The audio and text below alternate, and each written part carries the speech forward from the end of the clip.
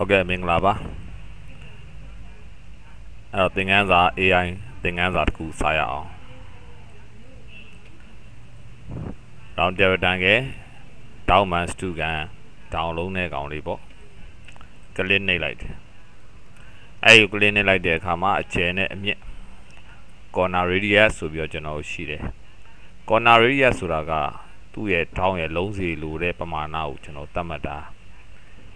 အဲ့တော့ဒီမှာရှိတဲ့ပမာဏတစ်ခုကျွန်တော်ယူပြီးတော့ဆွဲတယ်ပေါ့ဆွဲကြည့်တယ်ကျွန်တော်ကြိုက်တဲ့အနေထားလားဒီတက်မကထပ်ပြီးလုံးချင်ရင်ပမာဏထပ်သတ်မှတ်ပြီးရှော့ချင်ရင်လည်းလုံးလိုတဲ့ပမာဏကိုရှော့ချင်လည်းနောက်ထပ်ပမာဏရှော့ပြီးပေါ့အဲ့နောက်ဒီကောင်လေးကိုကျွန်တော်ပြင်ဆင်ဖို့ရာနောက်တစ်ခုက feed transform 2ကိုကျွန်တော်သုံးပါမယ် သုံးပြတဲ့အခါမှာအောက်ကတောက်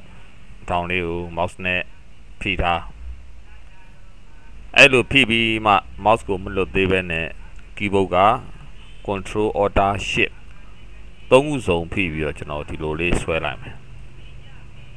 ထိုနည်း၎င်းမဲ့အပေါ်ဘက်ကလည်း mouse ကိုဖိထားမယ် control alt shift သုံးခုစုံဖိပြီးတော့ဒီလိုလေးယူလိုက်မယ်ဒီပုံစံလေးချိုးပြီးတဲ့နောက်မှာအယောင်လေးတစ်ခုဖြည့်မယ် ဖြည့်ပြီးတော့နောက်ထပ်စဝိုင်းတစ်ဝိုင်းယူမယ် elist 2 shift ကိုဖိပြီးတော့ဖိတဲ့အခါမှာနေရာရွှေ့ခြင်း space bar လေးဖိပြီးတော့ကိုကြိုက်တဲ့နေရာကိုရွှေ့အဲ့လိုရွှေ့ပြီးပြီးအယောင်လေးထည့်မယ်ဟောဒီလိုလေးပြင်သူနဲ့သူနဲ့တဲ့နေပြီစီဒီလိုချိန်ပြီးတဲ့နောက်မှာကျွန်တော်ဒီအပိုင်းလေးကိုချိန်မယ်ပန်တူးသုံးမယ် ကလစ်နေမယ် mouse ကိုဖိဆွဲမယ်ဒီနားမှာလည်း mouse ကိုဖိဆွဲမယ်ဒီနားမှာဒါဆုံး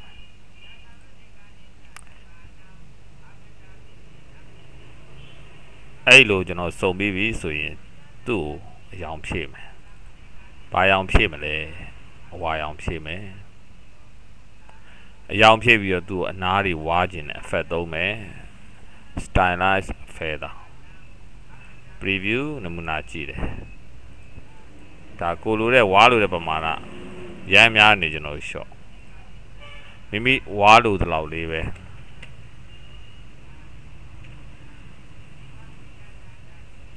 ကြိုက်ပြီ okay အဲ့ဒီဘေးကအောက်လိုင်းကြီးကျွန်တော်ပါနေရင်အဆင်မပြေဘူးဖြုတ်ထားလိုက်တယ်အဲ့တော့သူ့ကို copy ပွားမယ် order ဖိပြီးတော့ပွား ဘယ်နဲ့ညာနဲ့ကိုလမ်းမယ်ဘယ်နဲ့ညာနဲ့လမ်းမယ်ဘယ်ကနေလမ်းမလဲ reflect to order ဖိပြီးတော့ click နေတယ် okay ပေးလိုက်တယ်ဒီပုံစံရတယ်ဒီဘက်ကိုထားလိုက်အဲ့လိုထားပြီးရဲ့နောက်မှာကျွန်တော်ပန်တူးလေးကိုသုံးမယ်ပန်တူးလေးကိုသုံးမယ်ဆိုပြီးကိုနှိပ်လိုက်တယ် ကလစ်နှိပ်တယ် mouse ကိုဖိဆွဲသွားမယ် mouse ကိုဖိဆွဲပြီးတော့ဒီလိုလေးလဲလိုက်မယ်အဲ့နောက်ဒီဘက်လောက်မှာပြန်ပြီးတော့ကြွေဝင်ဒီလိုကြွေဝင်နဲ့ကြွေဝင်ပြီးတော့ဒီနားမှာပြန်စုံမယ်ဒီနားလေးကိုစိတ်တိုင်းမကြဘူးပြင်ကျင်တယ်ပြင်ကျင်တယ်ဆိုရင်ကျွန်တော် direct selection to a လေးကိုနှိပ်လိုက်အများဖြူလေးထွက်လာမယ်ထွက်လာတဲ့ပုံမှာကို စိတ်တိုင်းမကြတဲ့ဘိုင်းကိုပြင်လို့ရတယ်ပြင်တဲ့အခါမှာဒီများတွေကိုကင်တွယ်ပြီးညှိတဲ့အခါမှာနှစ်ဖက်တစ်ပြိုင်နဲ့များကောင်းနှစ်ဖက်တစ်ပြိုင်နဲ့ဖြစ်နေခဲ့ရင် convert anchor point 2နဲ့ပြင်မယ် shift c ကိုနှိပ်ပြီးတော့တကူချင်းချိုးပြီးတော့ပြင်လို့ရတယ်ဒီလိုလေးပေါ့ဟောဒီမှာလေးရွှေ့ကျင်သေးတယ် A ကိုနှိပ်လိုက်ဒါလေးကိုရွှေ့ဒီကောင်လေးကိုလိုတယ်လို့ပြင်ဟောလို့ ကပြင်ပြီးပြီ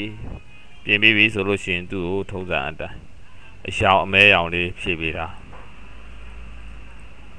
ပြီးရင် order ဖြည့်ပြီးတော့ဆွဲထုတ်သွားမယ်ဆွဲထုတ်ပြီးတော့သူ့ကိုစဝိုင်းလေးတစ်ဝိုင်းထပ်ထည့်မယ်ဒီနားလေးမှာဒါထားမယ်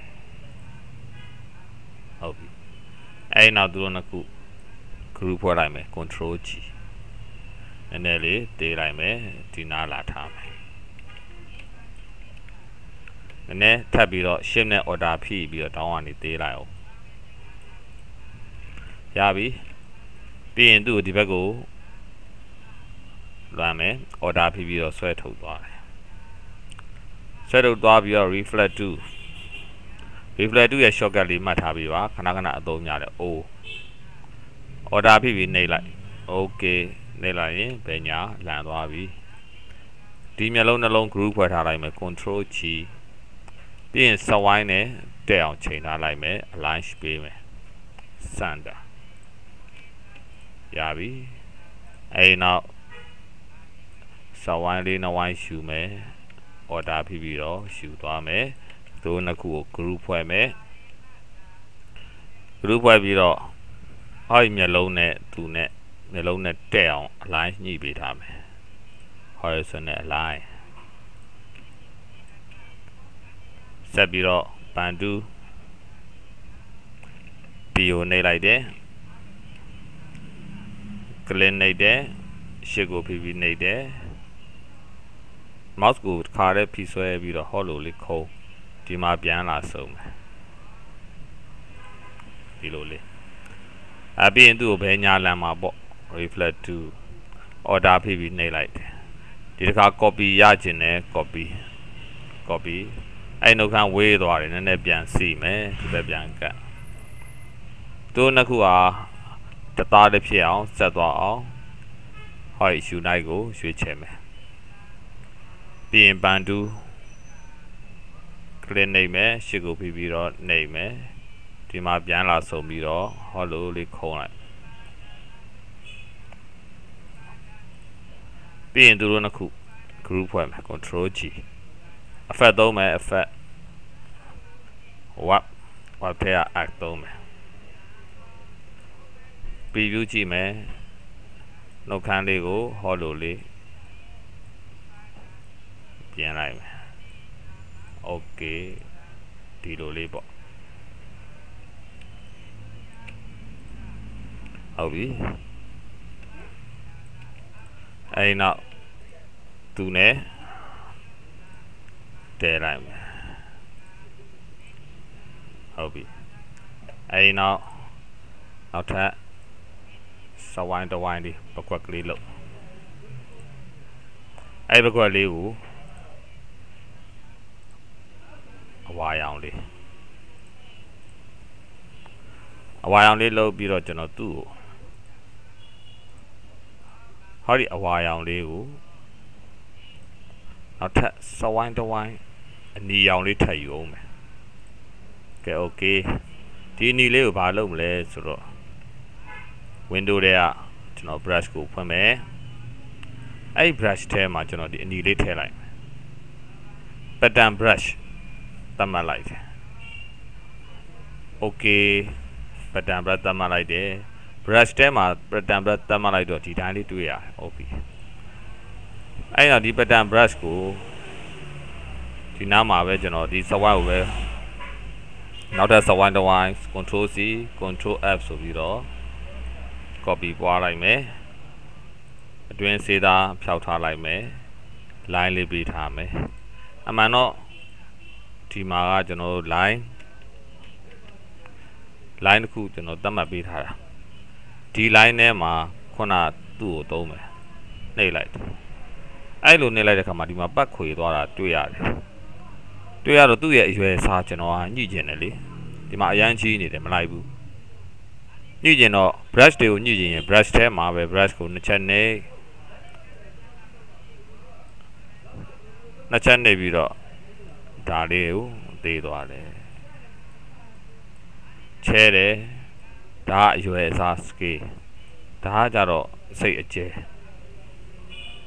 လို့သလိုဒါစိတ်ဓာတ်ကျဲတာချိန်လိုက်လို့ရတယ်ပြီးရင် okay blind to stroke ဟောလို့လေပြီးရင်သူနဲ့သူနဲ့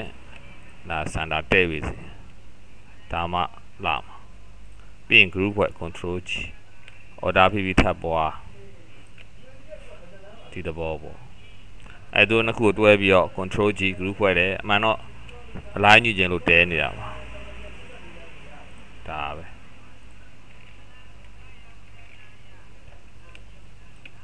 အဲ့တော့ဒီ brush လေးကကျွန်တော်သုံးမလို့ဟုတ်ပြီအဲ့ဒီနောက်ကျွန်တော် rectangle နောက်ထပ် rectangle ထပ်ယူမယ် rectangle 2 rectangle 2နဲ့ကျွန်တော်ဆွဲလိုက်တယ်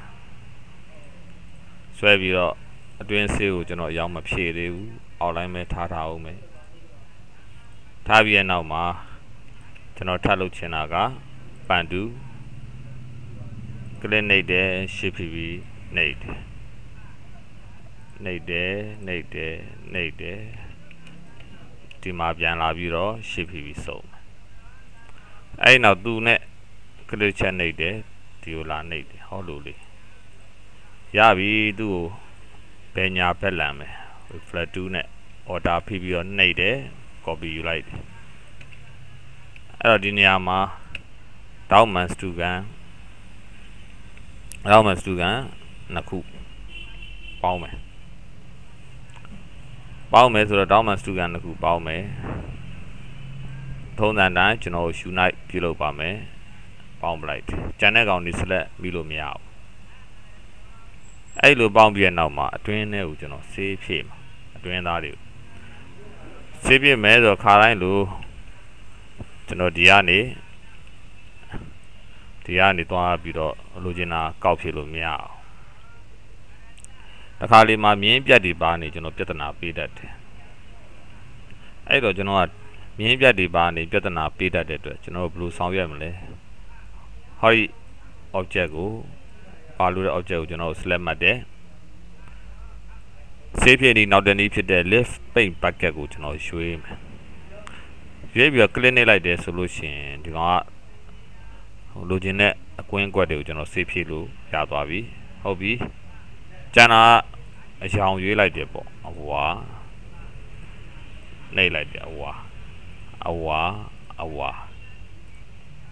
အမဲကိုရွေးတယ်အမဲဒီထဲမှာဖြစ်အမဲအမဲဟောဒီပုံစံရရပြီဆိုရင်ကျွန်တော်သူ့ကိုသူ့ကို effect ခုသုံးမယ် web web ထဲကနေပြီးတော့ကျွန်တော် act ပဲပြန်သုံးပါမယ် အဲ့တော့ design လုပ်တဲ့အခါမှာသူကတော့အသုံးများပါတယ်ဒီလိုလေးပေါ့ okay အဲ့တော့ဒီကောင်လေးကိုကျွန်တော်ဒီမှာလာထားမယ်ဟုတ်ပြီ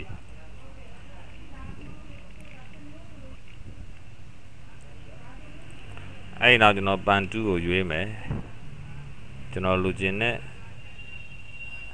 မြင်းချောင်းလေးဒီနားမှာအမတ်တမတိုးပြီးတော့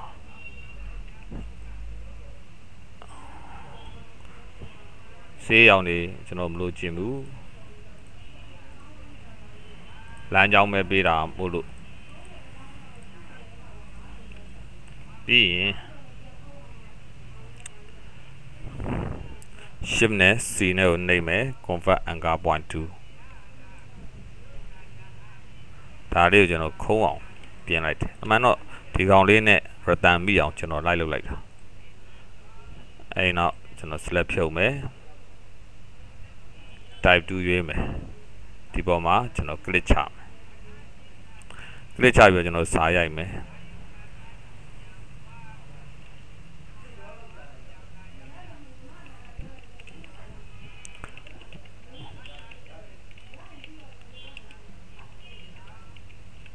ဒီ လိုလေးပေါ့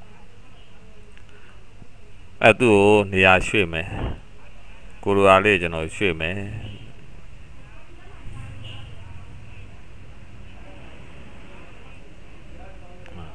ဒီပုံစံလေးပေါ့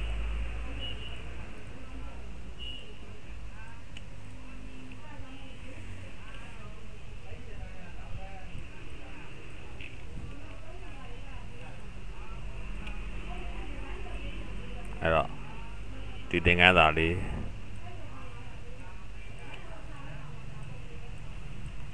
သူ့ကို group ဖွဲ့ထားလိုက်မယ်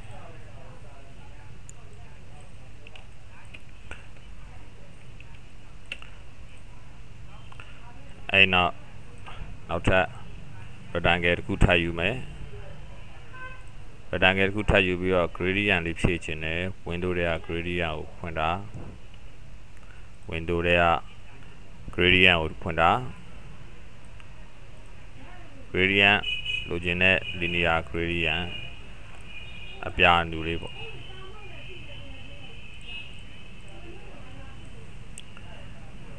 အဲ့နောက်သူ့ကိုဒီလိုလေးဒီကိုရွေးတယ်စံတစ်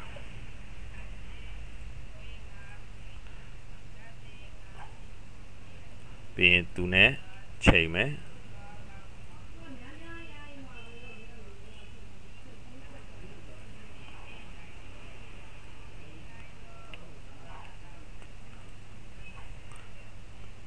အဲ့ဒီနောက် white design လေးကို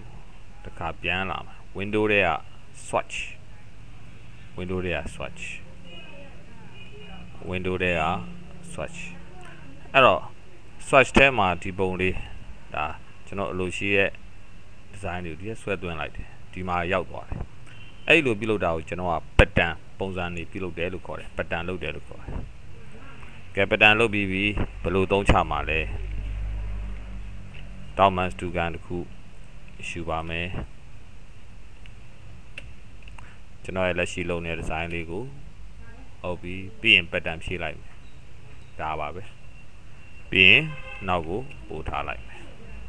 မယ်ဒီ design လေးဖြစ်ချင်တာပါကျေးဇူးတင်ပါတယ်